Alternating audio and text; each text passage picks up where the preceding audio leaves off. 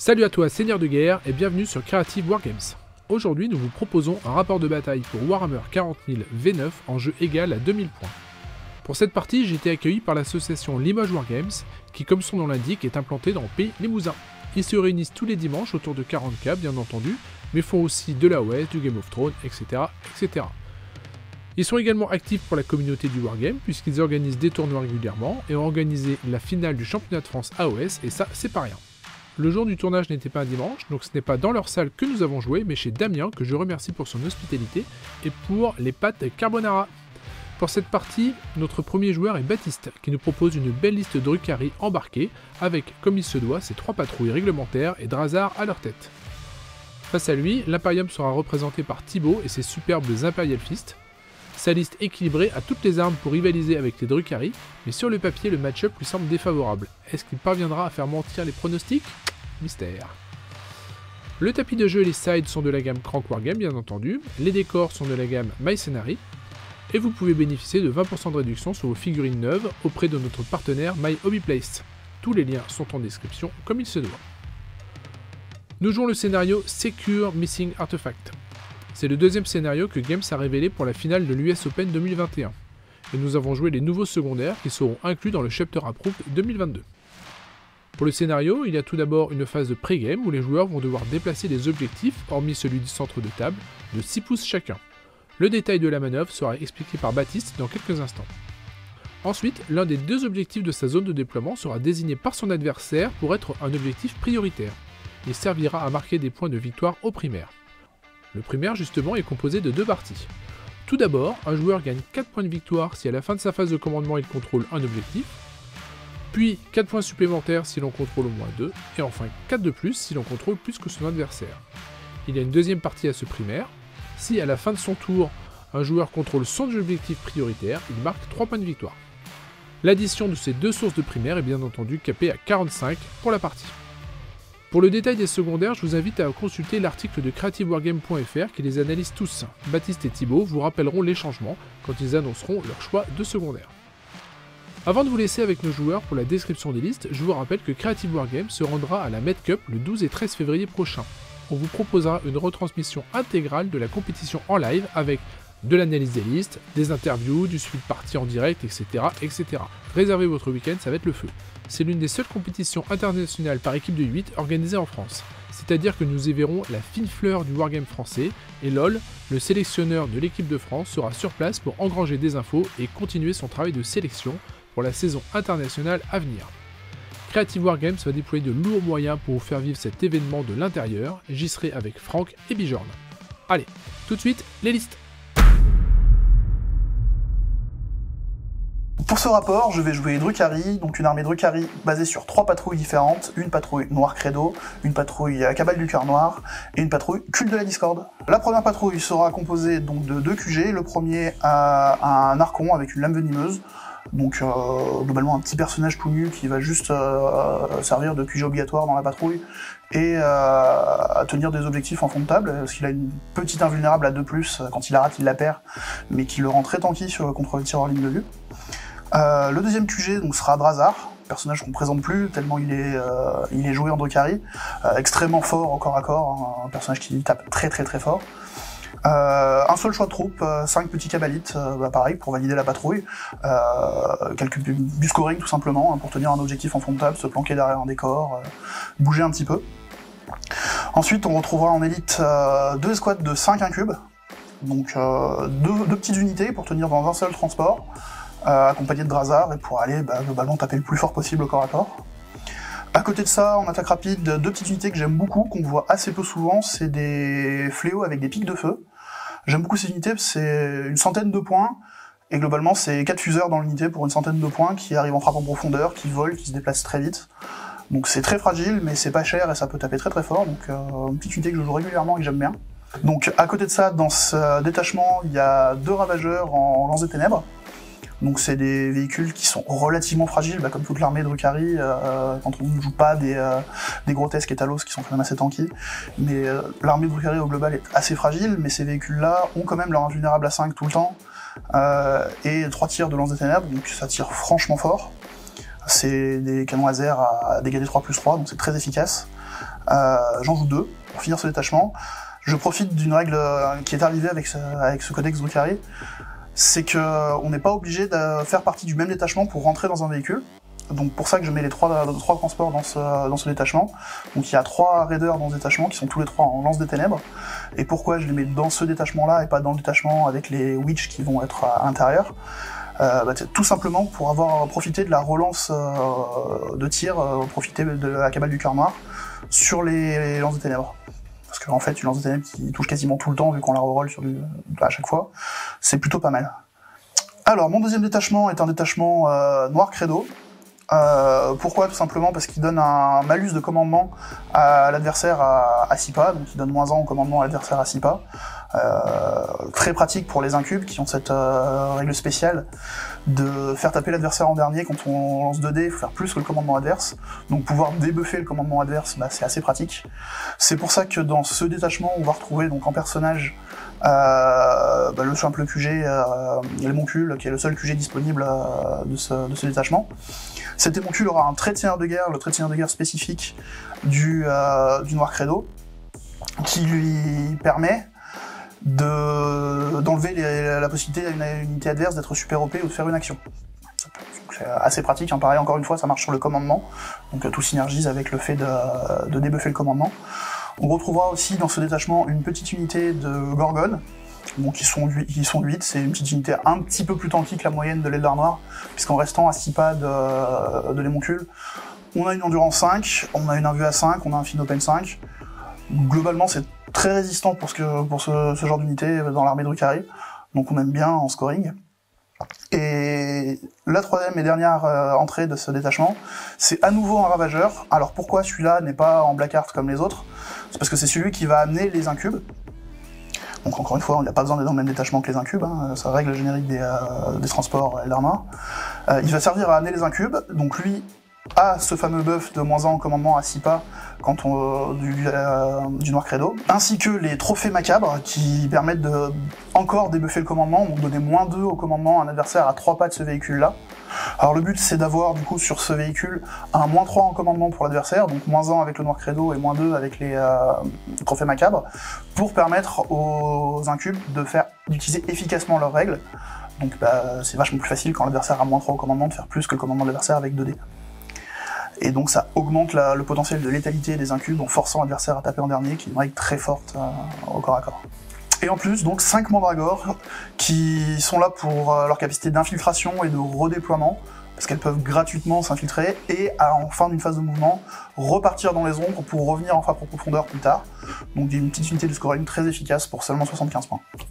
Et donc un troisième détachement en culte de la discorde, donc avec une euh, succube pour euh, QG de ce détachement. Donc euh, succube, personnage qui tape extrêmement fort aussi, même si même après le nerf de, de 20 points euh, assez récent, je pense que c'est toujours un must-have. Donc cette succube avec sa relique, le fouet triptyque, qui lui permet d'avoir trois attaques supplémentaires, un empoisonné à 2+, et une, une PA-3, un dégât 2, donc excellente relique, et un trait de seigneur de guerre qui va lui permettre de recommencer toutes les attaques qui n'ont pas atteint l'étape faire des dégâts. Donc une succube à 9 attaques qui tape extrêmement fort et qui va euh, faire beaucoup de dégâts pour assez peu de points, parce qu'elle coûte que 60 points, un trait de guerre et une relique. Donc un, bon monstre de corps à corps, un bon missile. Un personnage très efficace euh, qu'on voit régulièrement et qu'on retrouve régulièrement dans la liste, Drukhari. Et donc trois unités de Witch, donc 3 fois 10 Witch, 3 fois la même escouade, avec à chaque fois un filet barbelé en paleur, qui va me permettre d'empêcher l'adversaire de désengager, donc des unités qui se projettent très très vite parce qu'elles ont la possibilité de sprinter et charger, donc, bah, comme tous les Drukhari à partir du tour 2. Euh, elles ont un bon mouvement de base en sortant du véhicule, ça leur rajoute 3 pas de projection encore une fois, elles ont plus 1 à distance de charge et le frappe toujours en premier. Donc très bonne unité de corps à corps. En plus un peu poison pour l'adversaire parce que bah, c'est super OP et avec une 4 plus 1 au corps à corps, ça peut tenir assez correctement. Euh, donc des très bonnes unités de troupes, euh, très efficaces.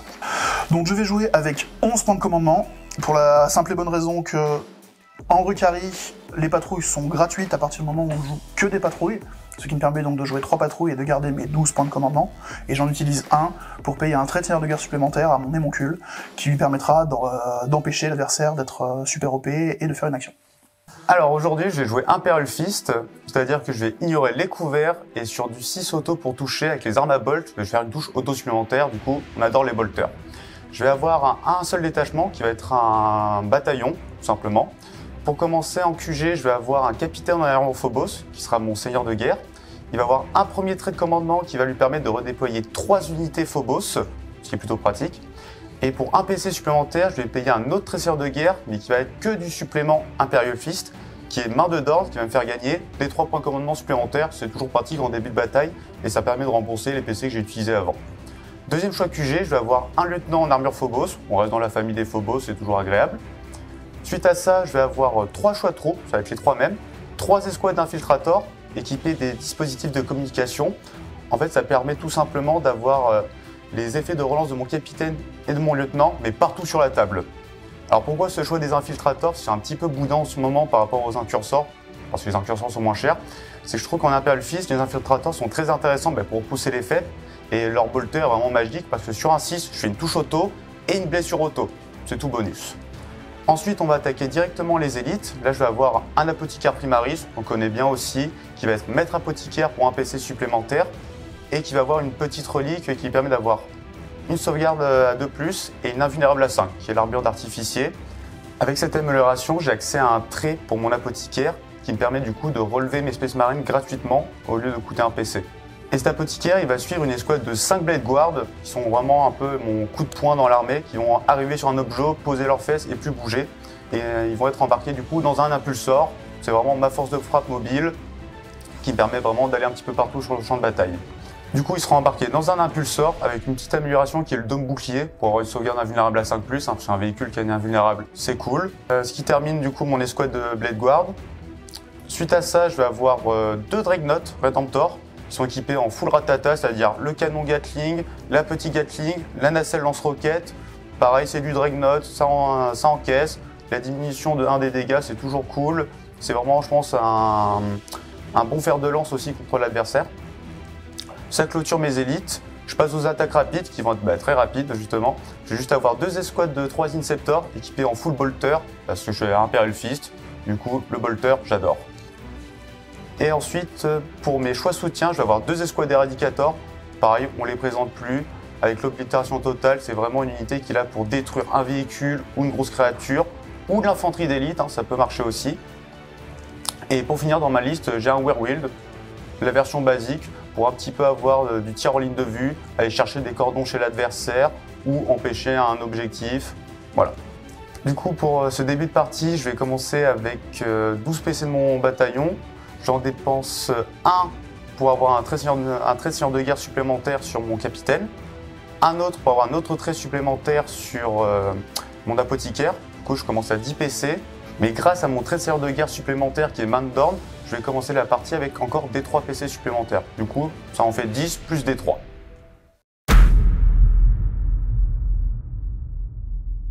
Alors pour les objectifs secondaires, mon premier choix sera Retrieve the Nashmun Data. Donc c'est la nouvelle version des données Octarius. Euh, qui fonctionne à peu près comme avant globalement, sauf que maintenant il y a un jet à faire, donc ce jet là on va lancer un dé, si on fait autant ou plus que le nombre de figurines de l'escouade, euh, on réussit à faire l'action, sinon elle est ratée, et on a plus 1 si l'unité a le mot de clé troupe. Moi je vais prendre exactement le même, il a très bien expliqué, ça m'arrange. Alors moi mon deuxième objectif, ça sera un objectif Drukaris, si tu ne pourras pas prendre le même. Euh, c'est un objectif qui fait que je marquerai deux points de victoire par quart de table dans lequel l'adversaire n'est pas, et ce à partir du deuxième round de bataille. Bah, sur ce, moi je vais prendre euh, l'objectif secondaire de mon armée, Serment de l'instant, où je vais gagner deux points de victoire si j'ai une unité entièrement à 6 pas du centre de table. Je vais gagner aussi un point de victoire si lors du tour j'ai tué un véhicule, un monstre ou un personnage et je vais encore gagner un point de victoire si je n'ai pas raté de test de morale ou battu en retraite pendant ce tour. Et donc euh, moi, mon dernier objectif secondaire, ça sera to the last, donc euh, ça sera avoir euh, mes trois unités, trois unités que je choisis parmi les plus chères de mon armée, qui devront survivre jusqu'à la fin de la partie. Donc ces trois unités seront mes deux ravageurs et Drazar. Et du coup, moi, pour mon dernier objectif secondaire, je vais prendre Abattez-le, c'est avec la nouvelle version qui est entre 10 et 14 points de vie. Je vais gagner 2 points de victoire pour chaque véhicule détruit. Et vu que je suis un périfiste, bah, j'adore détruire des véhicules.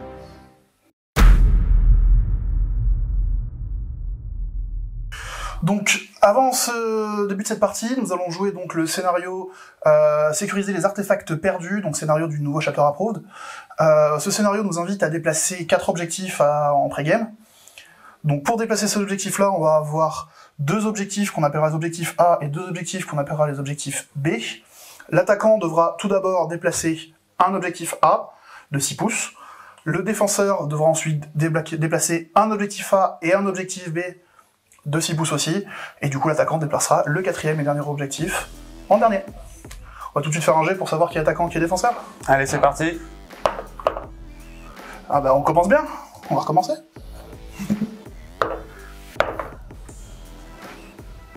Hop, bah du coup, je suis attaquant. Alors, vu que je suis attaquant, je vais choisir ce côté de la table. Il me va très bien. Et je vais commencer par bouger cet objectif ici que je vais ramener un peu plus en dehors du champ de bataille pour le forcer à gérer un peu plus. Du coup, moi je vais en profiter pour déplacer les deux objectifs qui sont dans les zones de déploiement.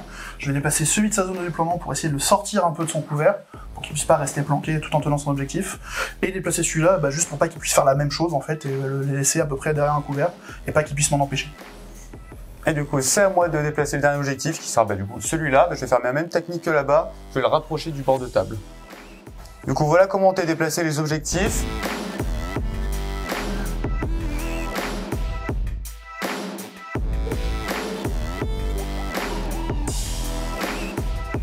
Alors du coup, on a terminé la phase de déploiement. On va rappeler un petit peu comment les primaires ont évolué.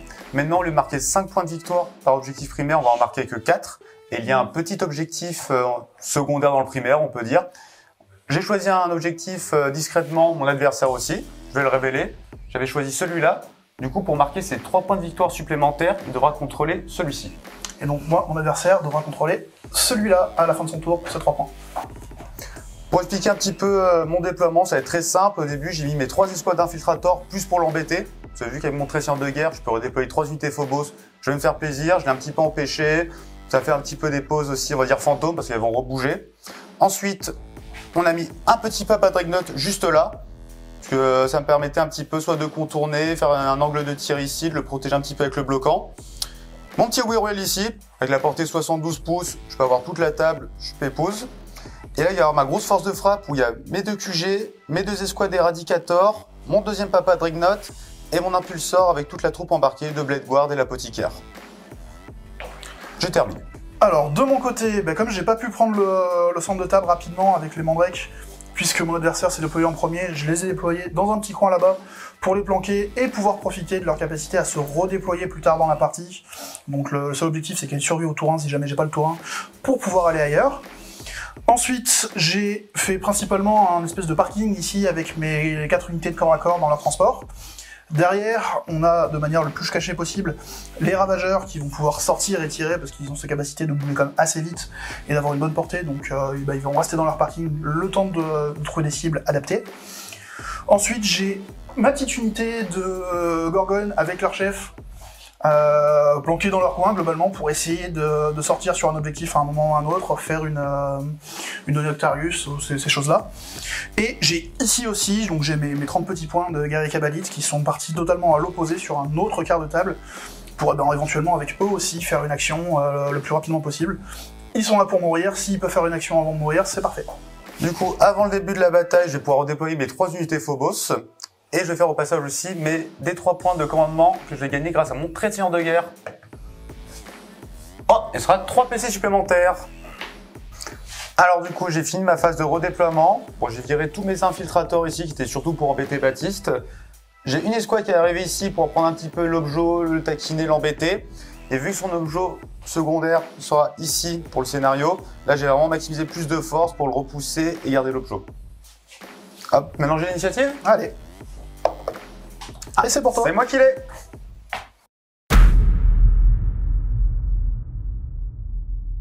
Alors, pour ma phase de commandement, je vais pas avoir grand chose à part gagner un PC surtout, parce que j'ai pas d'aptitude, j'ai pas de chaplain, ça va être très rapide, juste le point de commandement gagné, et on enchaîne sur la phase de mouvement. Alors, pour ma première phase de mouvement, je me suis un petit peu écranté ici pour faire un premier, une première escouade de Space Marine pour protéger un peu le bloqué s'il veut venir me charger au corps à corps. Le Dreadnought a pu aller juste là, avoir une petite ligne de vue sur l'unité ennemie qui est juste là.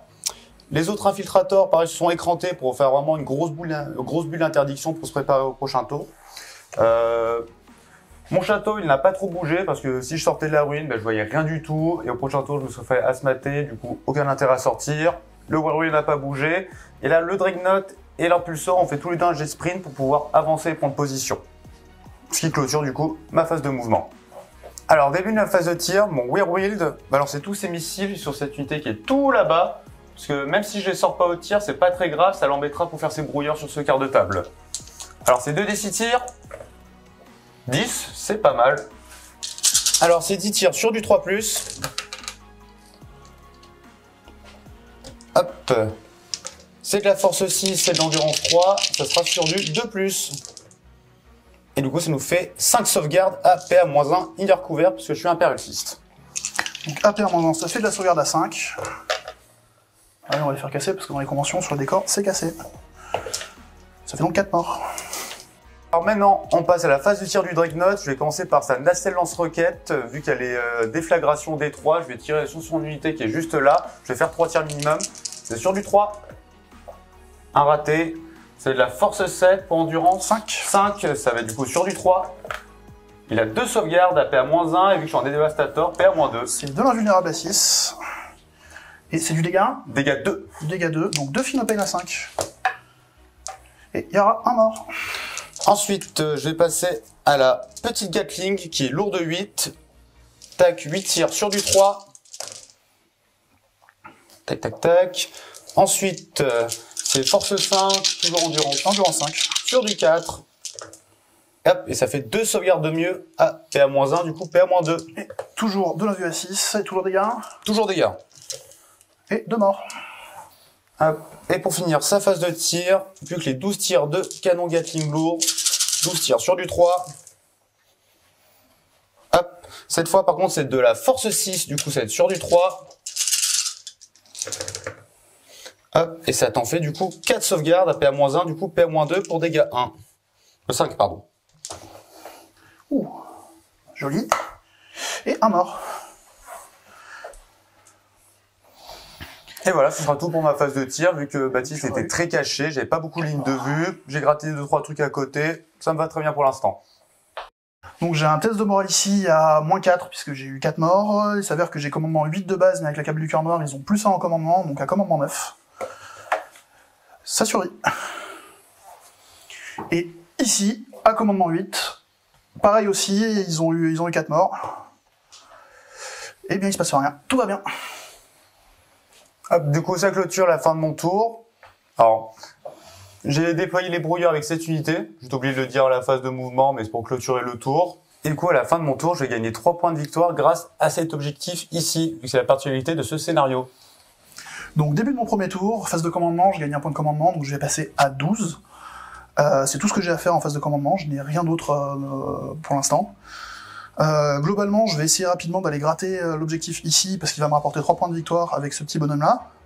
On va essayer de sortir ça avec quelques tirs, mais on va rester plus ou moins prudent, parce que mon armée va fonctionner surtout à partir du tour 2 et 3, avec la règle spécifique des euh, qui est la puissance vient de la souffrance. À partir du tour 2, je vais pouvoir sprinter et charger. Donc euh, pour l'instant, on va surtout temporiser et juste essayer d'aller marquer quelques points de victoire ici. Et on va faire euh, une euh, donnée d'Octarius quelque part. Euh, je suis pas encore trop trop décidé où, mais probablement avec lui, je vais peut-être essayer, ça va être difficile. Et sinon, je vais la faire là-bas. Il faut que je réfléchisse à ça encore. Donc sur ma phase de mouvement, mon cabalite qui était ici a sprinté pour arriver à mettre un pied sur l'objectif. J'ai sorti mes deux ravageurs pour avoir dans l'objectif de sortir cette unité là pour pouvoir essayer de tenir l'objectif avec ce petit cabalite parce qu'il est super OP moi aussi donc il faut que j'en tue euh... bah, faut que je les tue tous globalement. Ça risque de pas être forcément si facile mais on va essayer. Euh, deuxième chose que j'ai fait j'avais mes mandrakes qui étaient là-bas que j'ai renvoyés dans les ombres donc ils reviendront en FEP un peu plus tard. J'ai décalé mon pack de, de mandrakes pour pouvoir les rentrer un tout petit peu pour qu'ils soient à plus de 6 pas du bord de table et pouvoir faire avec eux l'action des données d'Octarius, enfin les nouvelles données d'Octarius, que je vais faire maintenant, parce qu'il faut faire un G, puisque maintenant il faut faire un G qui soit égal ou, euh, inférieur au nombre de figurines, et avec plus 1 si c'est un choix troupe. Il s'avère que là c'est un choix troupe, mais ils sont que 4. Donc vu qu'ils sont que 4, bah, si je fais un 6, c'est raté. C'est réussi. Donc j'aurai les données d'Octarius pour ce tour. Donc pour ma phase de tir, ce raider là va tirer dans l'unité ici. Et du coup, je vais déclarer tout de suite que je vais claquer deux stratagèmes. Le premier, ça va être écran de fumée, pour qu'il ait un moins 1 à la touche. Et le deuxième, ça va être transhumaine pour qu'il puisse me blesser que sur du 4, 5 ou 6. Parce que sur un coup de bol, l'unité survit et ça va vraiment l'embêter. Du coup, c'est tout bonus et il me restera 12 PC à la fin. Donc, premier ravageur, il va toucher sur du 4+. Alors, en cabale du cœur noir, j'ai droit une relance gratuite pour toucher. Donc j'ai deux touches. Je suis force 8, mais il a utilisé une, euh, transhumane, donc je le baisserai que sur du 4+. Eh bien, il n'y en aura pas. Il m'embête. Parce qu'il est vilain. Et le deuxième ravageur va tirer au même endroit. J'aurai le droit à une relance, c'est raté. Et encore du 4 ou plus. Il y en aura une, donc ce sera une sauvegarde à moins 4 pour des 3 plus 3 dégâts. Du coup, tout simplement, pas de sauvegarde, à mort. Et voilà qui va conclure ma phase de tir. Donc à la fin de mon tour 1, je marque malheureusement pas de points, puisque ici je n'ai pas réussi à sortir ces 5 Marines, donc je ne tiens pas l'objectif. Euh, par contre, j'ai réussi du coup mon, premier tour des données Octarius. Et voilà pour conclure ce tour. Et du coup, fin du round, pour mon serment de l'instant, ben, j'ai ni tué un véhicule ou un personnage, j'ai personne à 6 pas du centre de table, j'ai juste gagné un point de victoire parce que j'ai pas raté de test de morale ou battu en retraite.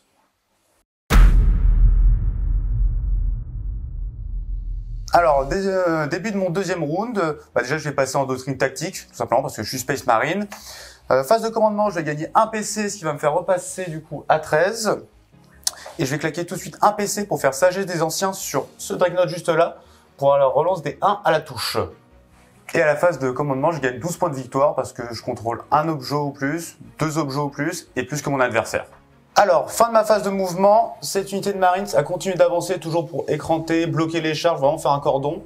Le Dreadnought, où j'ai passé la sagesse des anciens, a une bonne ligne de mire euh, sur les véhicules adverses, du coup je vais pouvoir bien me faire plaisir.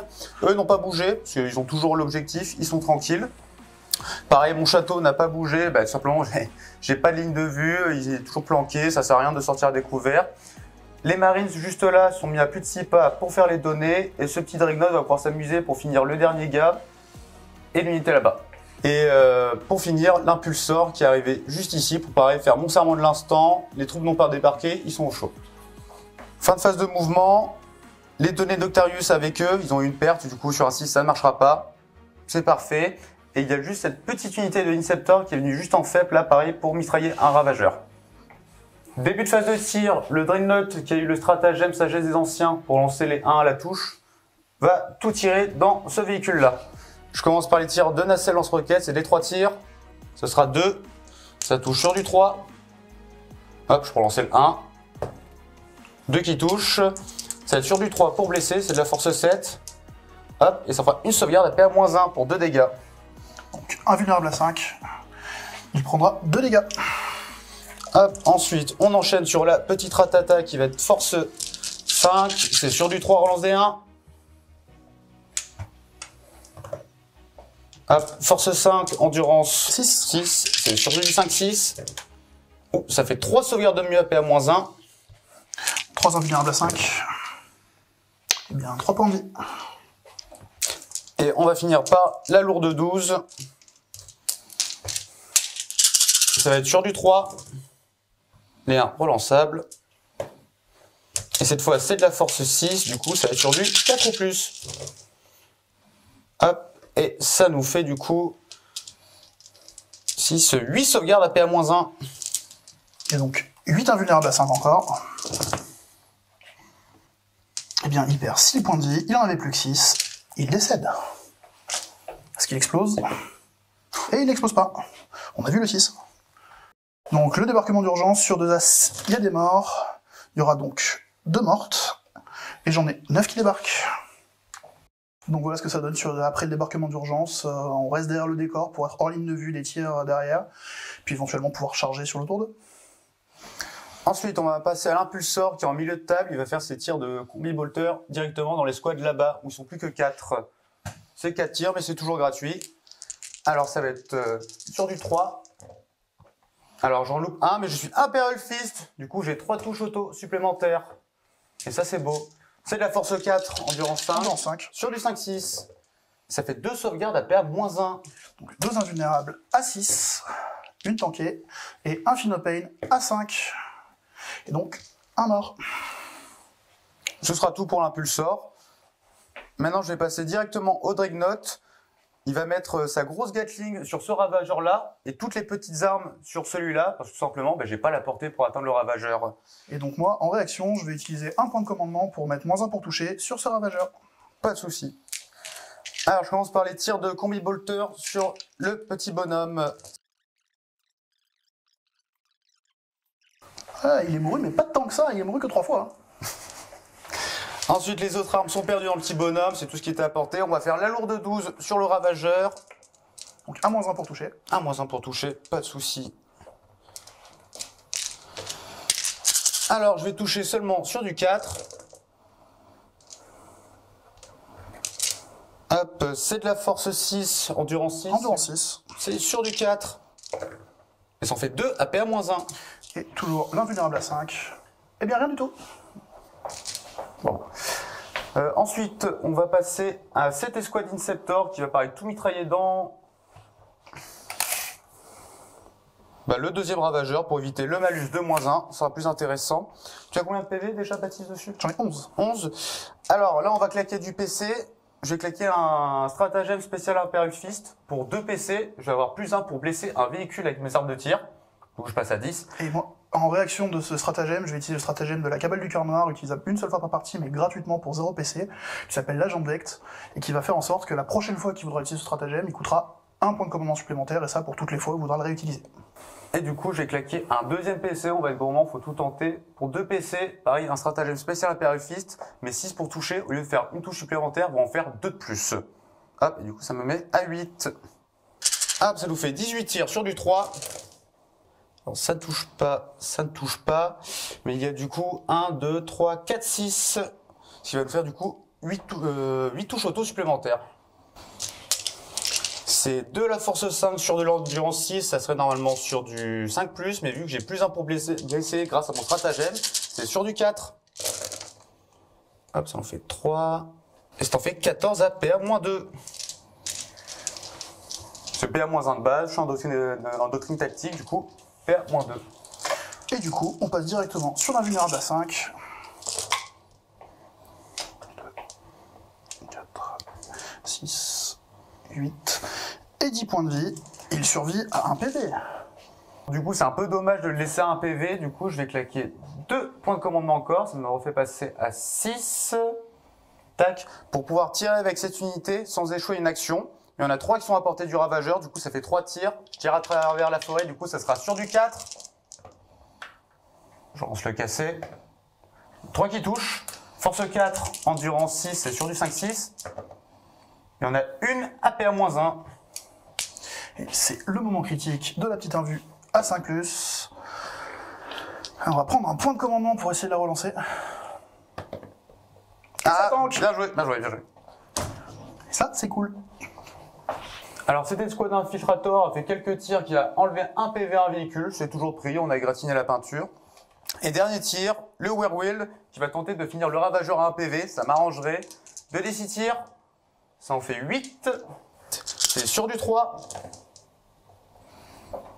Hop, c'est de la force 6, de l'endurance 6, c'est sur du 4. Hop, et ça fait 4 sauvegardes, pas de PA. Donc comme il n'y a pas de PA, pour une fois, c'est de la sauvegarde à 4+. Et il explose, enfin il explose, il meurt. Est-ce qu'il explose justement? Et non, il n'explosera pas. Alors suite à la phase de tir, il n'y aura pas de phase de charge, pas de phase de corps à corps, pas de phase de morale non plus. Du coup, on va compter directement les points. Je vais gagner 3 points parce que j'ai sécurisé mon objectif. Je vais gagner euh, 4 points pour abattre le parce que j'ai détruit les deux véhicules qui étaient juste là. Et pour l'instant, pour mon serment de l'instant, je suis bien parti sur les 4 points, à voir ce que fait mon adversaire. Et du coup, je marque aussi les données ici qui sont marquées pour une deuxième fois, ce qui va me faire marquer 4 points de victoire. Ça clôture mon tour. Donc début de mon deuxième tour, euh, au début de ce deuxième tour, je gagne un point de commandement, donc je passe à 11. Et comme je tiens un seul objectif ici, eh bien je vais marquer 4 points de victoire au primaire. Et ça sera tout pour ce début de tour. Alors, pour cette phase de mouvement, donc j'ai eu beaucoup de débarquements, il s'est passé beaucoup de choses. Donc la première chose, c'est l'unité qui a débarqué de- d'urgence ici, s'est déplacée avec un tout petit sprint, mais bon, pour aller engager au corps à corps ici.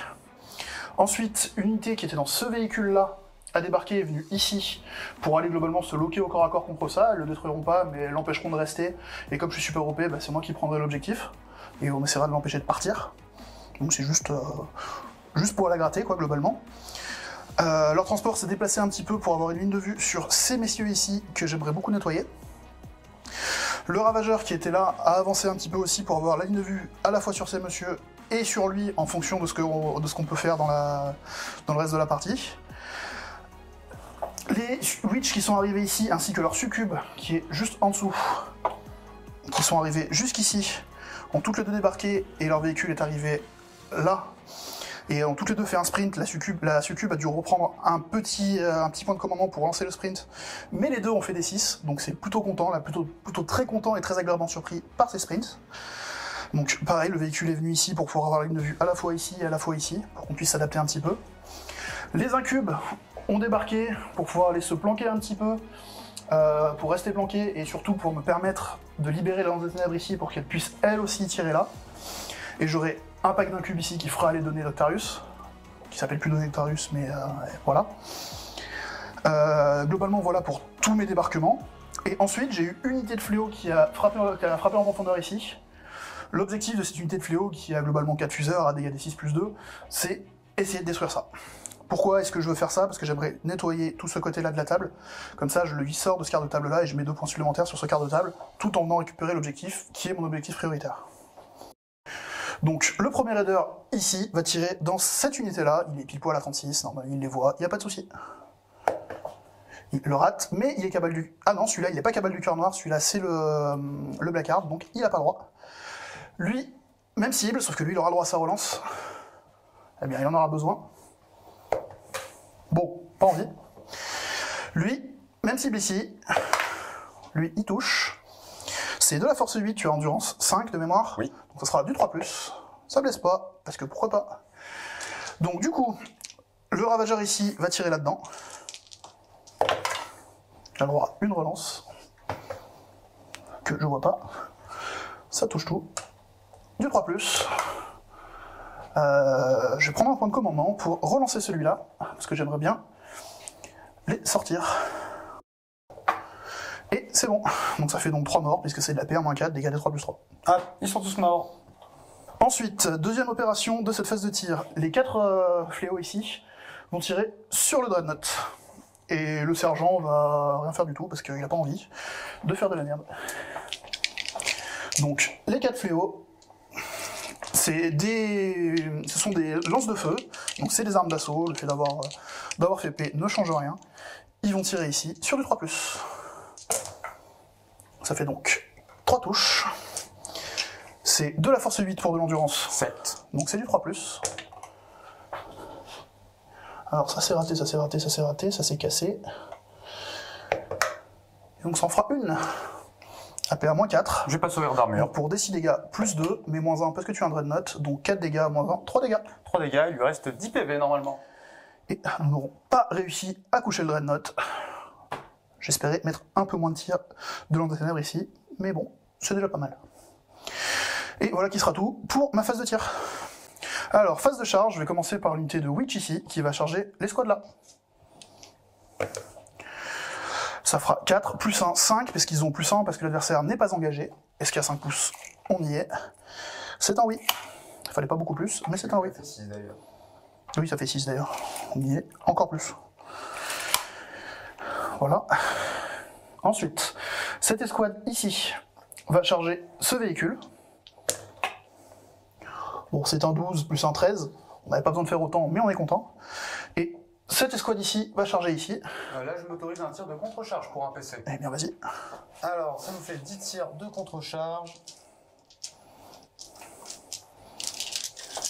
Ça va être seulement sur du 6. Alors, j'ai pas de 1 à l'as, alors du coup, ça va faire 3 touches, mais vu que c'est des carabines spéciales, ça fait 3 blessures, et je suis un fils, du coup, 3 touches auto supplémentaires aussi. Force 4, endurance 3 sur du 3. Hop, et du coup, au total, ça fait 6 sauvegardes à perdre, moins 1. Il est désagréable, monsieur. Donc, les 6 sauvegardes. On n'est pas encore au corps à corps, donc on a juste une invulnérable à 6. Ça pique. 6 morts. Un tir de contre-charge bien mérité. Euh, avec beaucoup de 6. Je suis un perle Très bon tir de contre-charge, il pique. Et j'aurai une deux autres petites charges encore, donc la succube qui va charger ici, c'est pas si pique ça, qui va largement. Et les mandragores ici qui vont aussi charger l'unité là-bas, qui, sera- qui sera déjà engagée du coup euh, par, les, euh, par les witch. Et qui va aussi largement. Alors les ici ont chargé, on en met assez peu au contact pour pas trop avoir besoin de s'exposer pour ce qui va pouvoir sortir euh, après, parce que de toute façon la succube qui est arrivée au contact va réussir à découper toute seule comme une grande, elle aura pas vraiment besoin de l'aide des Serras, les Serras sont juste là pour apporter le super OP sur l'objectif. Donc on avance, on se planque un petit peu, tranquillement. Ici, on est là pour bloquer ce véhicule, parce que ce véhicule n'a plus vol, contrairement à la V8, donc il va avoir beaucoup de mal à partir. Et bon, au corps à corps, je ne lui ferai pas forcément spécialement de dégâts, mais j'en ai pas spécialement envie, donc ça me va très bien, on va rester là, on va être au chaud, on va tenir cet objectif, et on va l'embêter. Et ensuite, le corps à corps ici, donc j'ai ma petite unité de 3 Cérastes, parce qu'elles ont pris très très cher en contre-charge, et à côté d'elle, j'ai une petite unité de 3 Mandragores, qui est aussi venue se graber gentiment, pour essayer d'empêcher l'adversaire de désengager, en fonction de si je survis au corps à corps. Voilà, on va se retrouver après avoir tapé, ou en tapant. Donc, comme prévu, la succube a tapé ici, les a tués gentiment sans avoir besoin d'utiliser son trait de guerre pour retaper encore et refaire des blessures. Donc, c'était large. Ici, on a fait 4 PV au véhicule, on lui a gratté tranquillement un petit peu de point de vie. Et puis là-bas, on va attaquer directement avec les Serras qui vont taper dans les Marines. Donc, les deux Serras basiques, le chef, ça fait quand même 11 attaques, qui vont toucher à 3+. Elles ont force 3 pour endurance 4, ça va baisser sur du 5-6, en sachant que sur du 6, il y aura une PA améliorée de 1. Donc il y a deux sauvegardes à moins 2 et une sauvegarde à moins 1 pour un dégât. La première sauvegarde du coup à moins 1 dégâts, c'est ça? À moins 1, à moins 1 dégâts, ouais. Moins 1 dégâts. Non, ça fera Un 1 PV. Et après à moins 2 dégâts, Une seule? 2, 2, 2. Deux, pardon. Ah bah c'est loupé aussi. Donc 3 points de vie. Et l'arme spé qui va taper aussi. Donc si elle tape à force 4, PA moins 2, dégâts 2. Et ben ça fait rien. C'est raté. Donc est-ce que tu souhaites intercepter ce sur ce corps à corps pour taper contre les gorgones? Euh, non, je vais retirer mes pertes directement. Tac, tac. Et donc les mandrakes qui vont faire leur petit piling par ici pour aller taper. Ils ont deux attaques chacun. Le chef en a une petite troisième. Ça touche sur du 3. C'est l'empoisonné à 4+, donc ça blesse sur du 4. Et ben, y a rien. À toi de riposter. Ah, je m'attendais à pire. Et moi aussi. Alors, le piling. Donc. Ouais. Tout le monde qui sera, je pense. Ça en fait 4 dans le sergent. Euh, je vais tout mettre dans les. On va c'est endurance 5. Je vais en mettre 2 dans les Sérastes et 2 dans les Mandragores. Ok. Et en voyant, le sergent sera sur les Mandragores. Ok. Alors, les deux soldats classiques dans les Serras, c'est sur du 3. Je peux relancer les 1 grâce à mes dispositifs de communication. Hop, hop, c'est de la force 4, endurance 3 sur du 3. Je peux relancer les 1 grâce à mon dispositif de communication. Hop, 3 sauvegardes, pas de PA. 3 invulnérables à 4, puisqu'on est au corps à corps. J'en perds une. Et ensuite, les deux autres, dont le sergent, sur les mandragores, sur du 3. Un qui touche pas, ça va être sur du 5-6 par contre, 5, n'est-ce On pas va à 5, quoi. Je peux relancer le 1. Ça en fait 2, pas de PA. Donc, invulnérable à 6. C'est cassé, dommage. Donc c'est raté. Et deux Finopane à 5. C'est encore cassé. Pourquoi c'est cassé que sur des 6 Et ça fait deux morts. Du coup, on enlève une Séraste et deux Mandriques. Donc, euh, phase de morale, moi je vais utiliser directement deux points de commandement pour faire tenir mes Sérastes ici. Donc je passerai à 7 points de commandement. Et ensuite, j'ai eu deux pertes dans les Gorgones, mais comme ils ont commandement 8, il se passera rien.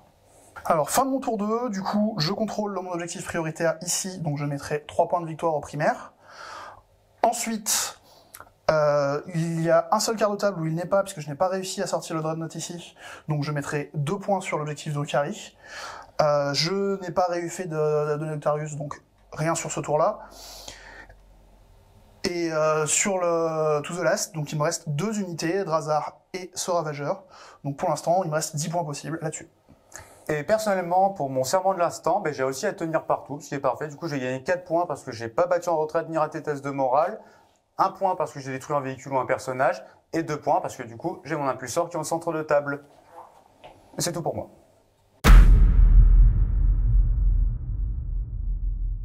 Alors, début de mon tour 3, je vais décider de rester en doctrine tactique pour l'instant. Je vais pas encore passer en assaut. Je vais gagner 8 points de primaire parce que je contrôle cet objectif-là et cet objectif-là. J'ai gagné un PC, du coup, je vais passer à 6, mais je vais l'utiliser tout de suite pour refaire Sagesse des Anciens, mais cette fois sur ce Dreadnought, pour la relance des 1 pour toucher. Et ce qui clôture euh, ma phase de commandement, on va attaquer la phase de mouvement. Alors, euh, pour ma fin de phase de mouvement, il y a le Dreadnought qui a continué d'avancer tout droit pour prendre l'objet. Il a beaucoup de cibles à portée de tir, il va avoir du cible corps à corps. Il est dans une position parfaite. Euh, ici, j'avais tenté de sprinter avec les éradicators. J'ai fait un très mauvais sprint, du coup, ils sont juste retournés sur l'objet. Par contre, ces éradicators qui sont juste là, ils ont fait un très bon sprint avec une relance de commandement, ce qui fait que je suis repassé à 4. Mais ils sont à portée de ce ravageur. J'aurais pas l'oblitération totale, mais il y a quand même moyen de faire des dégâts. Euh, mes deux héros sont avancés pour la bulle de relance, essayer peut-être de libérer l'impulsor, je sais pas encore comment je vais faire, et pour apporter leurs auras, du coup, aux escouades d'éradicators. Euh, mes trois Inceptors ont fait juste là, parce que j'avais aucun moyen d'aller dans son camp, je préfère les avoir sur le terrain, ils pourront aller un petit peu partout pour les prochains tours, et ils sont planqués. Euh, les infiltrateurs ici sont réétendus pour refaire une grosse bulle d'antifait parce qu'il en a encore quelques-unes. Là, le Dreadnought, hélas, ben, il est bloqué, mais quand même, il a une portée de tir sur un véhicule là-bas, il va pouvoir faire quelques tirs de droite à gauche, ce sera quand même utile. Toujours la phase de mouvement, les Inceptors qui sont arrivés en fait vont tenter de déployer les données, ils ont que ça à faire, c'est une chance sur deux. C'est bon, c'est réussi Fin phase de mouvement du coup. Alors, première phase de tir, les escouades éradicators vont tout mettre dans ce véhicule, ils ont sprinté, du coup ils n'auront que 3 tirs, pas d'oblitération totale, ils vont toucher que sur du 4. Ça en fait une. C'est sur du 3, rien du tout. Allez, au top. Ensuite, euh, on va passer par ce véhicule qui va tirer au corps à corps tout simplement. C'est toujours des petits tirs, ça va faire 8 tirs de bolter. C'est sur du 3, alors j'en loupe 4, mais il y a un 6, du coup c'est une touche auto supplémentaire. C'est sur du 3. Et ça fera du coup 5 sauvegardes d'armure à PA-1. Et comme le monsieur est désagréable, même s'il est au corps à corps, c'est une attaque de tir, donc je n'ai pas mon invulnérable contre les attaques de corps à corps. Donc c'est une invue à 6, et ça fait 5 morts. Et ça, c'est pas marrant.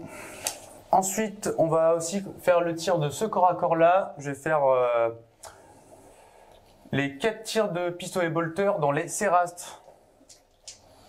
C'est 4 tirs sur du 3. Alors je peux relancer mes as parce que j'ai mes dispositifs de communication. Alors du coup il y en a 2 qui loupent, mais il y a 2 6 de coup 2 touches auto supplémentaires. C'est sur du 3. Je peux relancer la as parce que bah, toujours au dispositif de communication. Ça fait 2 sauvegardes, pas de PA, dégâts 1. Allez, toujours de l'invulnérable à 6. Une Seraste, deux mortes. C'est déjà ça. Ensuite, le gros Papa Dreadnought. Du coup, on va faire directement juste le gros canon Gatling sur le véhicule là-bas, qui a déjà perdu un PV, il me semble. Oui. Hop, alors ça nous fait 12 tirs sur du 3. Hop, il est endurance combien celui-là Endurance 6. Endurance 6, bah, du coup c'est sur du 4. Et ça te fait 5 sauvegardes à PA-1. Et donc 5 invulnérables à 5. Et là, 3 points. C'est toujours ça de prix. Ensuite, euh, le Werewolf qui est juste là, va faire ses tirs dans ligne de vue sur les squads de Serras qui est planqué juste dans ce bâtiment. Alors c'est 2 d tirs. 9. C'est sur du 3. C'est de la force 6 du coup, c'est sur du 2. Ça fait 4 sauvegardes, pas de PA, ni recouvert. Alors c'est toujours une invulnérable à 6 parce que j'ai une armure à 7, donc euh, voilà. Donc 4 mortes. Ensuite, le Dreadnought. Alors, il y aura pas mal de tirs dans tous les sens. On va avoir la grosse euh, canon Gatling au lourd qui va tirer sur ce véhicule-là, qui est quand même un petit peu abîmé. Ce serait cool de le finir. Je crois pas trop, mais on sait jamais. Euh, la petite Gatling qui va tirer sur l'escouade juste là. Donc là, moi, en réaction, je vais claquer un point de commandement pour avoir moins 1 pour être touché sur cette escouade. Parfait. Les bolters tétons qui vont tirer sur l'escouade de Witch juste là. Et pour finir, la nacelle lance-roquette qui va tirer dans ce véhicule. Alors vu que ça fait beaucoup de tirs, je vais tous les faire hors caméra et on se retrouve à la fin. Alors du coup, résultat des tirs, j'ai réussi à sortir 5 witch ici, c'est pas mal. Malheureusement, j'ai rien fait du tout sur cette escouade. J'ai gratté deux petits PV sur ce véhicule. Et comme au dernier tour, j'ai laissé ce véhicule à 1 PV. J'en ai fait 5. Et c'est tout pour la phase de tir, on va pouvoir passer aux phases de charge. Alors phase de charge, le Dreadnought dans le personnage juste là, 10, c'est nickel, vengeance. Ensuite, on a l'autre Dreadnought, hein, le petit frère, pareil, qui charge dans cette escouade. 5, parfait, on y va. Et c'est tout pour les phases de charge. On va passer à la phase de corps à corps. Alors, cas particulier qui est rigolo, vu que lui, toutes ses succubes, on frappe en premier, et mes charges, on aussi frappe en premier, du coup, on va avoir euh, une activation chacun en alterné pour la première phase de charge. Alors, 5 premières attaques du Dreadnought dans le personnage, c'est sur du 3. Tout qui touche. Force 14, endurance. Voilà. Sur du 2. Et quand on a vu à 4, je vais être sûr de one shot parce que ça m'intéresse pour les points de victoire. J'ai claqué un PC pour relancer mon as. Du coup, il me restera 3 PC. C'est bon, 5 invus, s'il te plaît. 5 invulnérables à 4. Ah, Il y en a 2 ratés, tu es en dégâts D3 plus 3, Ouais. 5 PV. Est-ce que ça vaut le coup? Parce que ça veut dire que j'espère que tu fais que 1 sur ton D3. Non, je vais, je vais mourir que dans d'atroces souffrances. Donc après la mort de ma succube, ça va être à mon unité à moi de taper, parce que j'ai le fight first ici. Donc je vais taper en premier avec ma witch dans les, euh, marines. 5 attaques, on est au tour 3, donc je sur du 2+, ça change pas grand chose. Elle a force 4. Donc elle met une blessure, elle a à PA-3 pour 2 dégâts. Allez, sauvegarde à 6, ça ferait plaisir. Non, bon ben, un mort. Et c'est à nouveau à toi d'activer unité qui a chargé. Ah bah du coup, ça va être le Dreadnought dans le Mandragore. Hop, c'est reparti, ça nous fait 5 attaques. Alors comme prévu, le Dreadnought, il a défoncé le Mandragore. Toi, Baptiste, t'as fait ta Alors petite moi, avec mon attaque, ça a été à moi d'attaquer, j'ai enlevé 5 PV, 4 PV 4. J'ai enlevé 4 PV à ce véhicule, et voilà, globalement, ça va être à tes marines de taper là-bas, euh, sur ma, sur ma succube, à ton véhicule aussi de taper sur mes witch. C'est vrai que le véhicule peut frapper, j'ai complètement zappé ça. Alors les Marines. Un sac qui touche pas. C'est sur du 3. Un relançable. Ah bah c'est un full, tu as 6 sauvegardes d'armure s'il te plaît. Je pense que la witch va pas y survivre. 6 sauvegardes invulnérables à 4+. Ah, Oh, pas, pas grand chose. Oh, en vrai. Elle va décéder. Et ton véhicule, tu peux taper. Qui a une attaque sur du 6. C'est raté. Y a cru? Hop. Fin de la phase de, de corps à corps. On va avoir vite fait la phase de morale maintenant. Alors, phase de morale, ma witch qui reste toute seule va tenter de de rester sur un petit as. On y a cru? Pas loin, pas loin. Au revoir. Alors, fin de mon tour, je vais gagner mes 3 points de victoire parce que je contrôle cet objectif qui est euh, dans le scénario. Ensuite, euh, sur mon serment de l'instant, je suis bien parti. J'ai tué un perso. Du coup, ça m'a rapporté un point. Pour l'instant, j'aurais pas raté test de morale ni battu en retraite. On va voir si je vais tenir le centre à son tour. Du coup, je suis possibilité de 4 points de victoire. Par contre, pour abattre le, bah, j'en ai tué aucun ce tour-ci. Par contre, il y en a quelques-uns qui sont un petit peu abîmés. On verra au prochain tour. Et du coup, j'ai marqué mon troisième quart de table grâce aux Inceptors qui sont juste là, où j'ai fait un magnifique As pour savoir si j'allais réussir ou non. Fin tour. Donc, début de mon troisième tour, je vais regagner un point de commandement et ainsi passer à 7. Et comme je contrôle un et deux objectifs, je vais marquer 8 points de primaire. Alors, ma phase de mouvement. Mes véhicules qui étaient ici ont fait une petite translation pour venir se mettre ici. L'intérêt, c'est que lui soit sur l'objectif et la possibilité éventuellement de tirer là-dessus s'il survit par rapport au tir de fuseur de là, mais ou de finir ces mecs-là là s'il peut leur tirer dessus? Ensuite, deuxième possibilité, donc eux qui étaient ici se sont déplacés pour venir se mettre là et essayer de voir ce qu'on peut faire avec, euh, avec ce qu'il y a ici. Lui a sa possibilité de tirer avec sa lance des ténèbres soit là-dessus, soit là-dedans pour peut-être régler le problème de ces, personnages-là. Ensuite, les incubes qui étaient ici ont éclaté en deux groupes. Il y a le premier groupe qui est parti ici dans l'espoir de pouvoir aller chasser un personnage vivant. Ils ont fait un sprint, ils ont fait as, ils ont relancé avec un point de commandement, ils ont fait deux, donc on n'est pas allé très très loin. Mais bon, c'est la vie. Ensuite, l'autre paquet d'incubes est allé de ce côté-là pour gérer le problème des Marines. Drazar et l'Archon sont partis de l'autre côté pour aller gérer le problème du Dreadnought. Et le véhicule a sprinté pour euh, permettre euh, de mettre plus facilement le fight last à l'adversaire, pour éviter les mauvaises blagues d'int- d'interruption avec un, avec un Dreadnought qui tue Drazar. Voilà. Et donc en fin de phase de mouvement, j'ai deux frappes en profondeur, donc cette escouade de fléaux qui arrive ici avec pour objectif avec leur 4 fuseurs de gérer ce, ce dreadnought, et les 5 mandragores qui sont là pour faire les données, qui vont lancer tout de suite. Et on évite de faire un 6.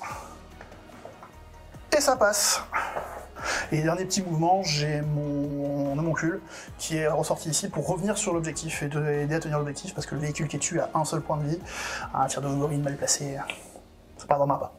Alors cette escouade dans le Dreadnought, donc le petit chef avec son arme empoisonnée, on sait jamais, un point, de- vie près ça peut servir. Du 3+, du 6, voilà, il n'y en a pas. Et les fuseurs, du 3+, euh, je vais prendre un point de co pour relancer celui-là. Dommage. C'est de la force 8, c'est du 3 plus encore. C'est ça. Il y en a deux. Donc c'est de la PA-4, donc pas de sauvegarde. Dégâts D6 plus 2.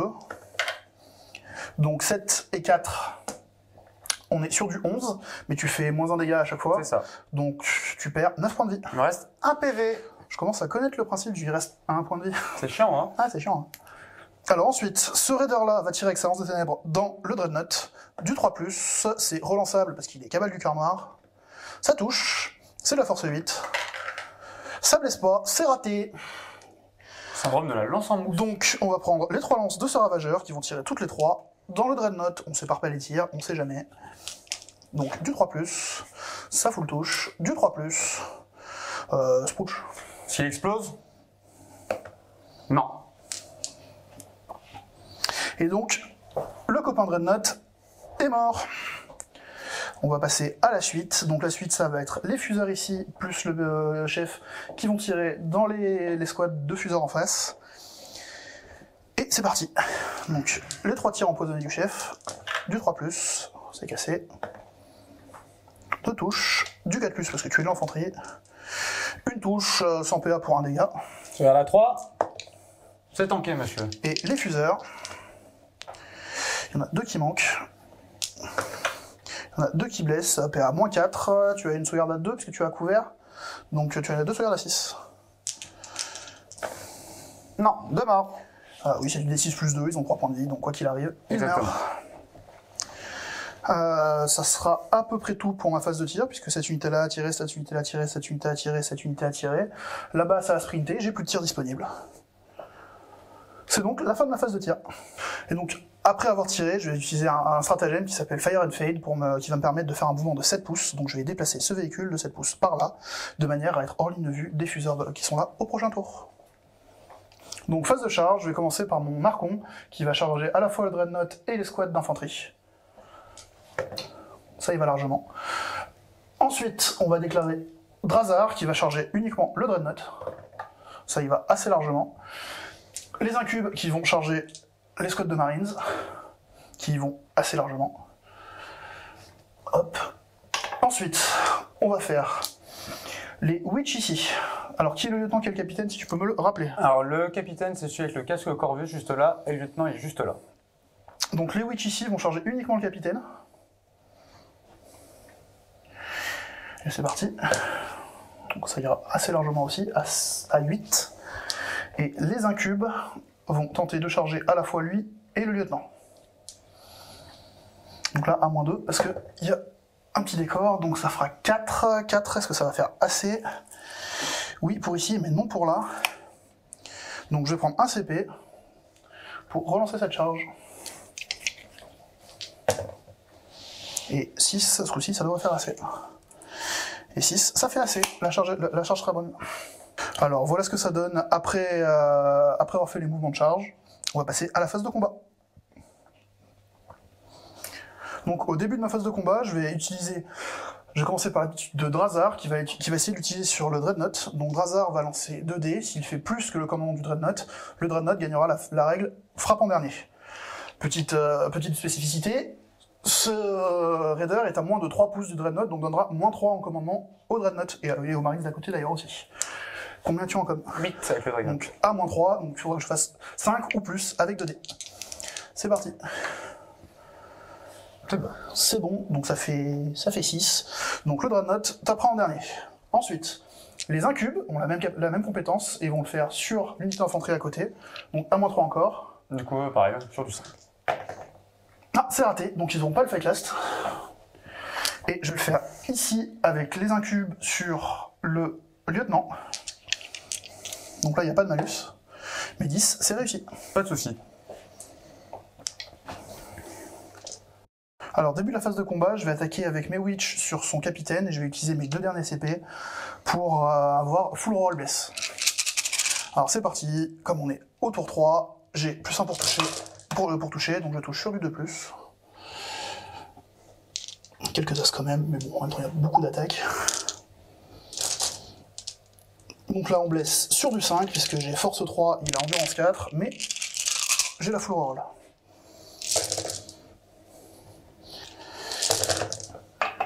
Alors. Donc tu en auras 3 AP à moins 2 et 9 AP à moins 1. 12 invulnérables à 4. J'ai 6 PV. Ouh, ben c'est non, non, non, mais avec une relance, euh, non. Au revoir, petit capitaine. Je vais interrompre avec mes 3 marines sur tes 5 cubes. Vas-y. Alors, du coup, ça fait 3 attaques chacun. Ils sont plus que 3 si je me trompe pas. Et une attaque en plus pour le chef. Il me restera un PC après ça. C'est sur du 3, plus de relance pour les touches parce que le capitaine est mort. Endurance 3. Non, non, 3. C'est sur du 3, force 4. Hop, c'est full, ça en fait 5 sauvegardes, pas de PA. Donc 5 sauvegardes. Les incubes ont une armure à 3+. Ah bah joli. Eh bien, c'est tout tanké. Donc tout s'est bien passé. Magnifique, on est content d'être heureux. Donc euh, suite du corps à corps, bah, là, globalement je peux enchaîner avec tout le monde puisque tu pourras plus intercepter. Ouais. Donc je vais commencer à faire à activer les incubes ici. Alors, les incubes ont tapé, ont fait leur travail d'incube, ils ont tué le lieutenant et l'éradicateurs qui restaient, ils ont bien tapé comme des brutes. Avec les mouvements de paladine vers l'ennemi plus proche, je me repositionne sur l'objectif histoire de le contrôler. Ensuite, à cet endroit-là, les incubes, eux aussi, ont fait leur travail d'incube et ont tué les trois, éradi- les trois infiltrateurs qui restaient. Exactement. Et on va passer au corps à corps restant, donc Drazar et l'Archon contre le Dreadnought. Donc je vais commencer par l'Archon, parce que, parce que l'Archon il est gentil, il est mignon, il tape pas fort.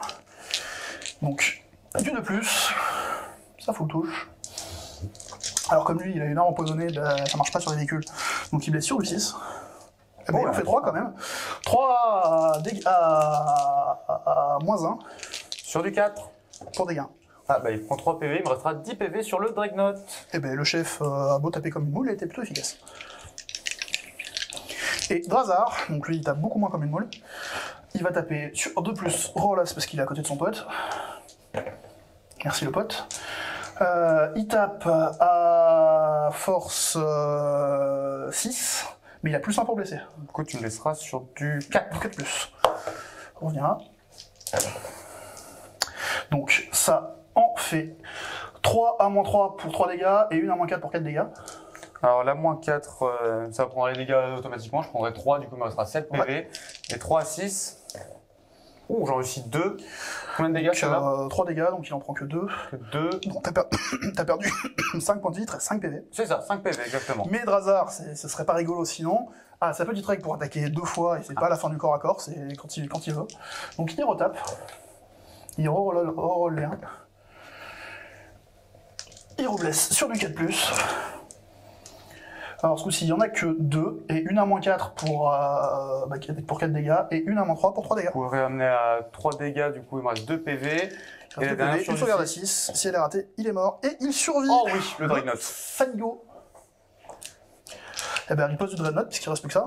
Le Dreadnought, 5 attaques, on va tout mettre sur Drazar. Par contre, il est en profil très très très très très dégressif. Il va toucher que sur du 5-6 maintenant. 5 attaques. On a 2 qui touchent. Ça va être sur du 2+. T'as une invue à combien À mec 4.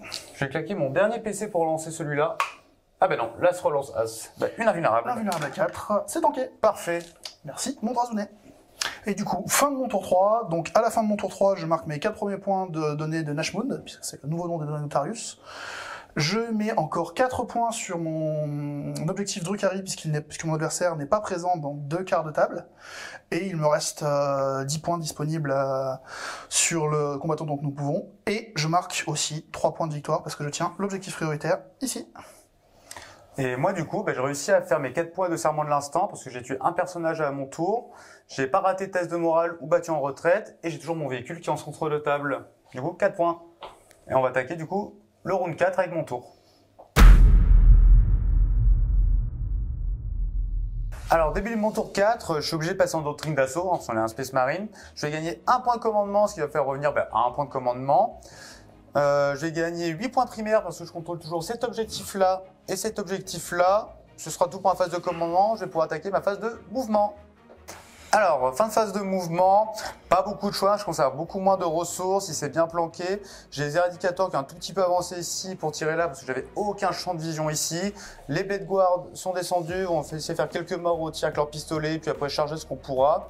Euh, unité d'inceptor ici, suivant où est-ce que j'aurais pas réussi à gérer avec les tirs, le véhicule s'est décalé, euh, n'a toujours pas bougé, les infiltrators euh, n'ont pas bougé parce qu'ils ont quand même un peu de ligne de tir ici, ils sont à portée, il y en aura juste un qui verra pas normalement. Et le Dreadnought ne s'est pas désengagé, il va essayer de euh, tuer son personnage au tir, on sait jamais parce que si je me désengage, à son tour il va me charger, il va me le tuer, il aura rien fait. Du coup autant rester au corps à corps. Et du coup on va enchaîner la phase de tir.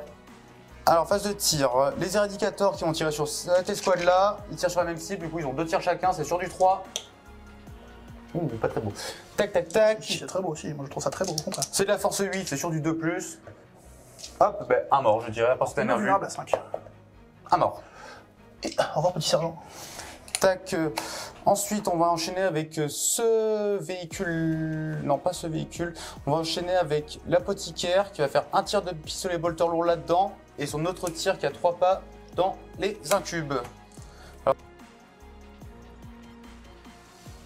Ça touche pas, c'est pas très grave. Euh, ensuite, on va voir les pistolets bolter lourds des, euh, des Blade Guard. Je vais en faire deux dans cette escouade et 3 dans celle-là. Les deux pistolets bolter lourds dans cette escouade. Hop, tout qui touche, il y a un 6, c'est une touche auto supplémentaire. C'est sur du 3, une invue. C'est tanké. C'est tanké. Les deux tirs là-dedans. Tout qui touche, une touche auto supplémentaire. Sur du 3, 2. PA-2. Eh bien, un mort. Du coup, les infiltrators qui vont tirer sur les Wish, il y en a 4 qui voient, ils n'ont pas bougé, du coup ça va nous faire 8 tirs sur du 3. Ça en fait 2. C'est cata, celui-là. Hop, c'est sur du 3 à nouveau. Et une sauvegarde, pas de PA. Et une morte. C'est toujours ça de prix.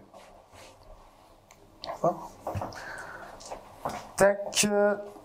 Ce... On va faire le Dreadnought maintenant qui va tout mettre dans Drazar. J'ai commencé par les Bolter Tétons. Ça en fait une, c'est sur du 2+. Et ben ça fait rien. Alors maintenant, l'impulsor qui va tenter de finir les Witch, il est un petit peu abîmé, ça va être sur du 5-6. Hop, euh, il y en a 4 qui touchent, j'ai vu qu'il y a 2-6, ça fait 2 touches auto supplémentaires.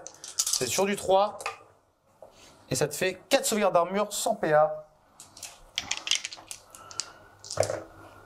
Et donc, comme nous sommes au tour 4, à partir du tour 4, sur toute mon armée, j'ai une invulnérable à 5 au lieu d'avoir une invulnérable à 6. Donc, il y a 3 mortes. Ensuite, euh, les Inceptors, qu'on va devoir séparer un petit peu les tirs. Là, c'est là, ça va être compliqué.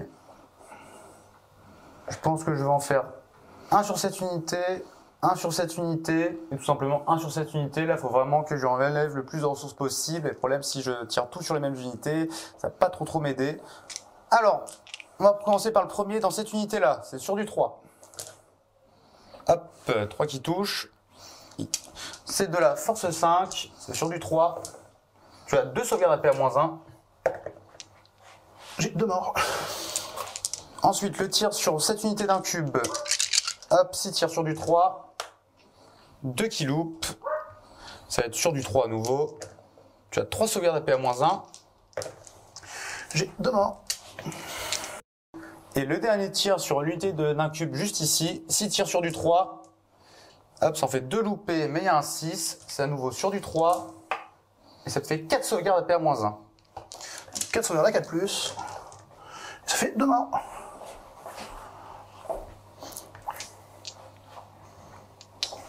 Et maintenant, le Werewolf qui va tenter de finir le dernier véhicule à 1 PV. C'est son moment de gloire. 2 d 6 tirs. 7. C'est sur du 3. Un qui touche pas. Force 6, endurance 6. C'est ça. C'est sur du 4. Ça fait 4 sauvegardes, pas de PA, inner couvert. 4 sauvegardes à 4 plus. RIP. petit véhicule. Et est-ce qu'il explose Parce qu'il y a un copain à côté. Et non. Mais il te rapportera deux points de victoire. Parfait, ce qui clôture ma phase de tir. Et on va pouvoir passer à la phase de charge maintenant. Alors, phase de charge, première déclaration, les Blade Guards vont tenter de charger les incubes et cette unité ici. 6, c'est parfait, c'était une charge à 5 pour tout impacter.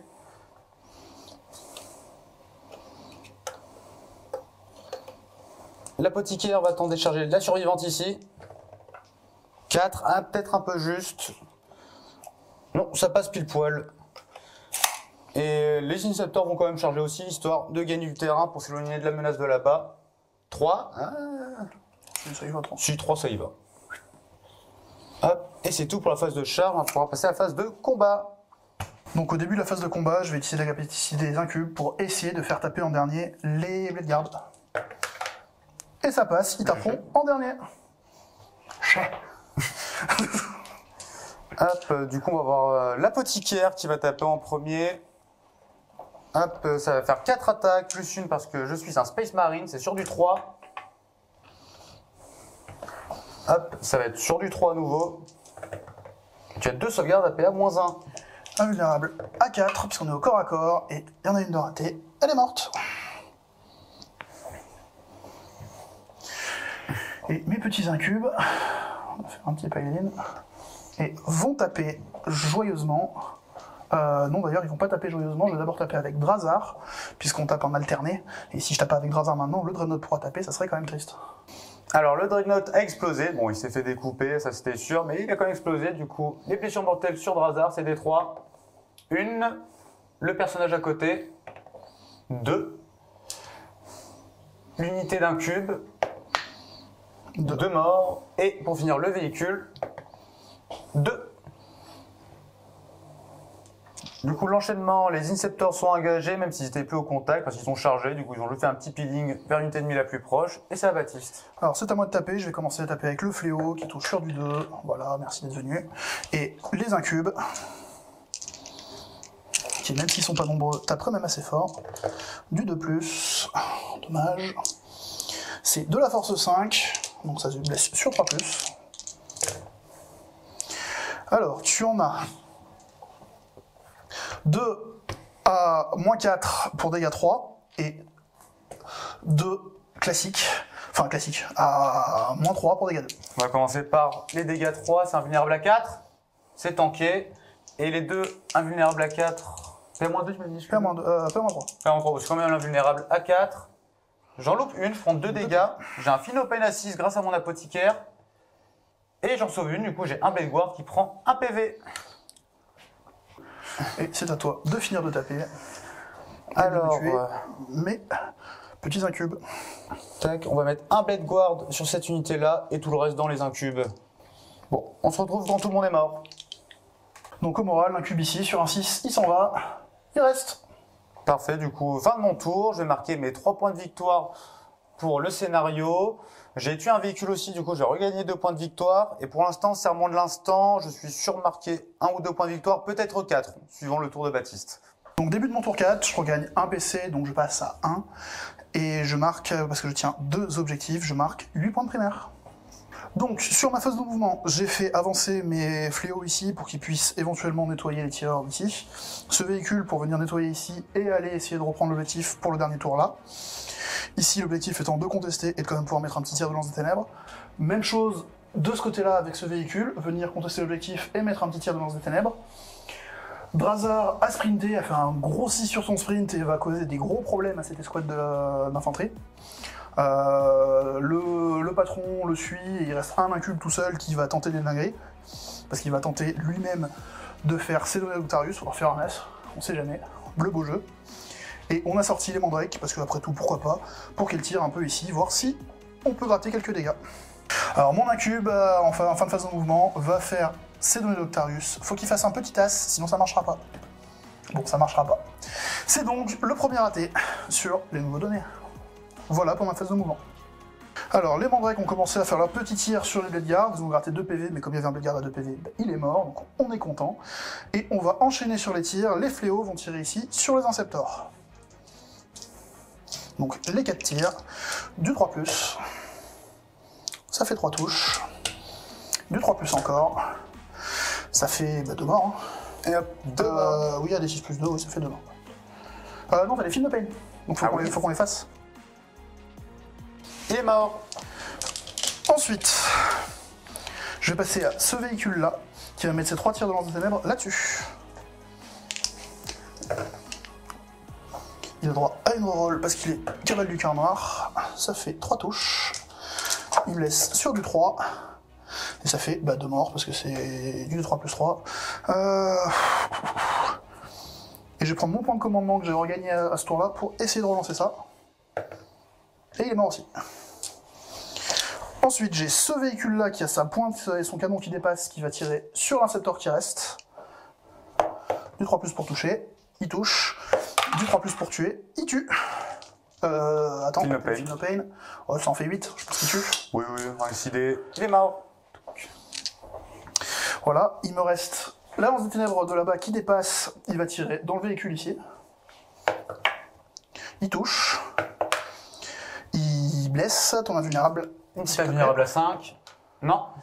Euh, de 3 plus 3. il meurt automatiquement. Est-ce qu'il Il explose Non. Eh bien, on est très content de cette phase de tir qui a été très fructueuse parce que globalement, rien n'a raté. Donc, c'est le plaisir. Voilà, fin de, fin de ma phase de tir. Donc, phase de charge, mon Archon va charger dans les infiltrators.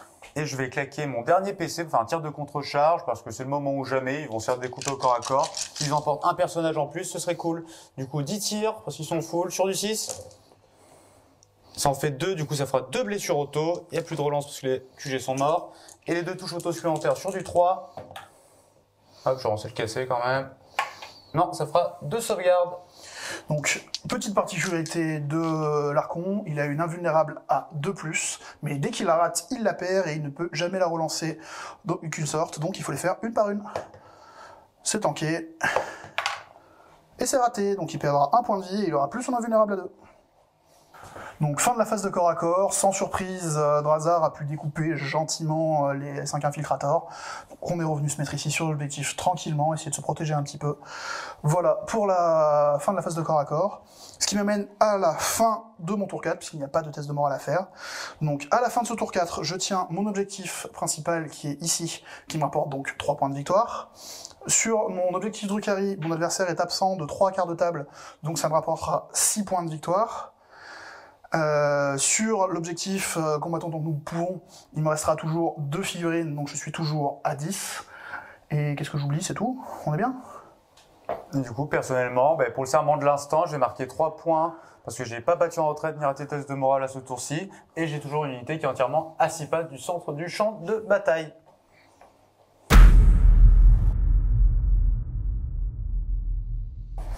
Alors, euh, début de mon tour 5, j'ai plus grand chose sur la table. hein. on va essayer juste de sauver des points, ça va être très rapide. Phase de commandement, je gagne un PC directement, qu'on va garder en réserve. Euh, phase de mouvement, directement, hop, l'apothicaire qui va se mettre au centre, les blade guard qui reviennent. Le werewolf va pas bouger parce qu'il n'a pas assez de mouvement. Fin de ma phase de mouvement, vu que c'est un maître apothicaire, il va pouvoir ramener directement un blade guard sur la table. Hop, pour 0 PC, parce que c'était son trait de commandement. Phase de mouvement terminée, on va faire phase de tir. Tout ce qu'on va essayer de faire, c'est un petit peu abîmer cette unité avec le werewolf pour l'empêcher de marquer facilement les données. 2d6 tir. 11. Allez, c'est sur du 3. Ça en fait 3 qui touchent pas. Force 6, endurance. Bon, on 3. Hein. C'est sur du 2. Aïe aïe aïe. Ça fait 6, ça fait 8 sauvegardes d'armure, pas de PA, dégâts 1. Alors là, c'est le moment de pas se craquer. Euh, et ben, ça va craquer quand même. Hein. Et il n'y a plus le squad. Voilà, il n'y aura pas de phase de charge, euh, pas de phase de morale du coup, bah, vu que l'unité est réduite. C'est la fin de mon tour 5 et du coup directement à Baptiste. Moi, début de mon tour 5, je regagne un CP. Alors, sur ce tour 5, je vais pas avoir des milliards de choses à faire. Parce que la seule chose qui pourrait être vraiment intéressante, ça serait devenir le ici et le faire sortir. Mais je suis pas sûr d'avoir les ressources pour le faire. Parce que même si j'envoie Drazar, euh, il y a de fortes chances qu'en fait ça suffise pas à les tuer. Ils sont très résistants avec leur bonne invulnérable. Donc je vais pas prendre le risque parce que si jamais je les tue pas et que lui il me tue de hasard, je perds 5 points de victoire. Donc je prends pas de risque, je vais pas y aller. Je vais juste me déplacer tranquillement pour, euh, pour, le, pour le contester parce que pourquoi pas ça mange pas de pain. Et la seule chose qui va me rester à faire, c'est de retenter une de Noctarus là-bas pour voir si je marque, si je marque mes, mes petits points ou pas. Alors bah, comme il m'a tué mes, les, les fléaux avec son, avec son satané véhicule de, de tir en ligne de vue, eh ben il faut à nouveau tenter un as. Donc on réessaye et ça conclura mon tour 5. Oh, c'est réussi Oh c'est magnifique GG. c'est la belle escroquerie. Donc voilà, ça conclut mon tour 5. Pas de dégâts à faire, pas de réel intérêt. Donc sur cette fin de tour 5, encore une fois, je vais marquer 6 points sur mon objectif Drukhari. Je dois être capé à 15. Euh, je vais tenir cet objectif-là qui va me rapporter 3 points. Je vais scorer au primaire, je tiens 1, 2, 3, 4 objectifs, donc je vais scorer les 12 points de primaire. Euh, Qu'est-ce qu'il me reste comme objectif? Il me reste euh, donc pour l'objectif où il faut rester vivant, donc il me reste ce véhicule et Drazar, ce qui fait que je marquerai 10 points sur cet objectif secondaire. Et personnellement, ben, je réussis encore mon serment de l'instant où j'ai pas battu en retraite ni raté test de morale, du coup un point. Et ben, les Blade Guard qui terminent leur dernier carré dans la gloire, qui font gagner deux points de victoire. À la fin de partie, on va se retrouver pour le débriefing et pour compter les points. Exactement. Donc fin de partie, au score final, très petite victoire pour moi, je la gagne grâce à un magnifique jet de dés qui me donne un petit S à la fin. Je suis à 77 pour 73, donc partie franchement serrée, Euh, j'en suis plutôt franchement content. Moi, c'était une partie très agréable, franchement, bien équilibrée. Euh, je partais avec un match-up assez difficile parce que l'Eldar Noir, ben, c'est rapide, ça fait mal, et moi je suis pas très nombreux, je suis pas très rapide. Je suis content de ma game, je je me suis bien défendu. Donc globalement sur les primaires, bah, euh, vu ce à quoi on pouvait s'attendre sur le, le type de match-up, tu scores plus au début, je score plus à la fin. Ouais, logique. Ce qui fait qu'en fait moi j'ai une armée qui va être très létale et qui va pouvoir avancer, mais qui va avoir un tout petit peu de mal au début parce que c'est toi qui vas prendre la table avec tes infiltrators et autres trucs. Donc bah, comme attendu en fait tu mets plus de primaires que moi au début mais j'en mets beaucoup plus à la fin. Du coup, on finit à égalité. On finit à égalité 44-44. 44 à 44 sur les primaires. Donc euh, assez content là-dessus. Le nouveau petit primaire supplémentaire euh, à, à faire, donc sur un objectif à tenir. On l'a tous les deux scoré quasiment à fond tout le temps. Quasiment tous les tours, hein, sauf vers la Donc, fin. euh, on l'a scoré à tous les tours. Soit, soit il n'y a pas que, y a que au dernier tour où tu l'as pas les- scoré. je crois les deux derniers tours, j'ai pas scoré. Donc on l'a quand même beaucoup scoré, il nous a rapporté beaucoup de points. Donc il a été assez simple à faire, assez efficace. Euh, moi je trouve ça très intéressant ce principe d'avoir un, un primaire qui va varier en fonction du scénario. Ça apporte encore une variété de jeux et euh, il va falloir se réadapter un petit peu stratégiquement, changer un petit peu les listes pour ça. Euh, franchement plaisant. Donc les objectifs secondaires, bah, moi mon premier objectif secondaire c'était l'objectif secondaire Drukhari. Donc bah, c'est un objectif qui est très très fort, hein, assez facile à caper parce qu'il suffit de deux tours globalement où on a trois quarts de table et on est quasiment à 15 déjà. Donc c'est un objectif où on va scorer assez peu en début de partie parce que l'adversaire bah, forcément il est assez vivant. Et en fin de game, bah, même qu'on ait l'avantage ou pas, en fait, vu qu'on a une armée qui est très létale, quoi qu'il arrive, on va le scorer à beaucoup. Donc c'est un objectif qui est très très fort et qu'on fait quasiment tout le temps à 15. Donc là, bah, je l'ai fait à 15. Ça s'est très bien passé. Qu'est-ce que tu peux nous dire sur ton premier secondaire? Bah, moi, mon serment de l'instant, bah, tout s'est très bien passé aussi. Hein. J'ai pu avoir directement le centre de table, le tenir, euh, détruire des véhicules par-ci, un personnage. J'ai pu le caper très rapidement. Mais j'ai pas des grosses unités. Bah, tout ce qui est test de morale, bah, j'en faisais pas. C'était directement mort, en fait. Voilà, ça clôture mon secondaire. Donc moi, le deuxième secondaire que j'ai pris, c'est un secondaire qui, pareil, n'a pas changé. C'est pas un nouveau secondaire. C'était le combattant dont nous pouvons. Alors pourquoi je l'ai pris? C'était pas évident, évident, mais sa liste me donne pas de secondaire évident à prendre. Euh, ma liste non plus entre guillemets, parce que je peux pas prendre d'autres secondaires de contrôle de table que ceux que j'ai déjà pris au départ. Donc le combattant dont nous pouvons, avec des véhicules qui sont très mobiles, l'air de rien, je peux aussi me planquer un petit peu, ce qui fait que c'est pas si difficile que ça de le marquer à 5 ou 10 points. Donc je pense que c'est pas très mauvais. Là, je le marque à 10. Donc je suis plutôt satisfait.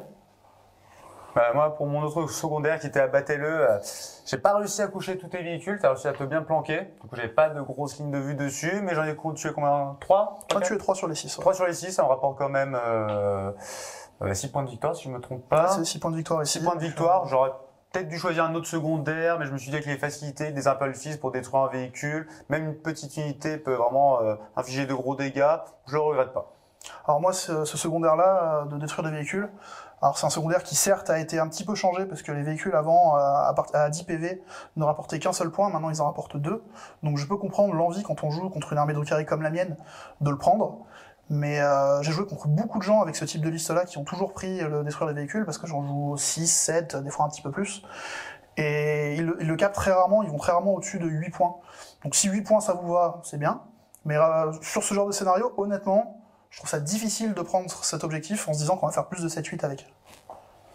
Euh, pour le dernier secondaire, on avait pris tous les deux le même, on avait Oui. pris les données d'Octarius. Pour tester la nouvelle version. Donc euh, la nouvelle version des données d'Octarius est franchement intéressante, parce qu'elle se, elle se fait différemment d'avant, elle est plus automatique, faut faire un G, et ce G-là va dépendre du nombre de figurines qui restent dans les squads.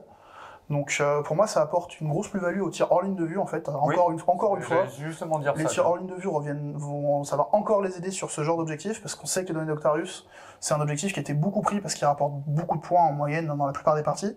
Et là, vu qu'une figurine toute seule va galérer à le faire, à part si on fait comme moi, qu'on fait un petit 1 à la fin, mais une figurine toute seule va galérer à le faire.